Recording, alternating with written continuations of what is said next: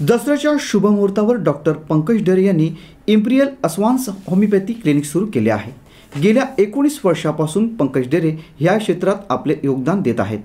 त्यांच्या क्लिनिकचे भारतीय जनता पार्टीचे रायगड जिल्हा अध्यक्ष आमदार प्रशांत ठाकूर यांच्या हस्ते बुधवारी उद्घाटन झाले.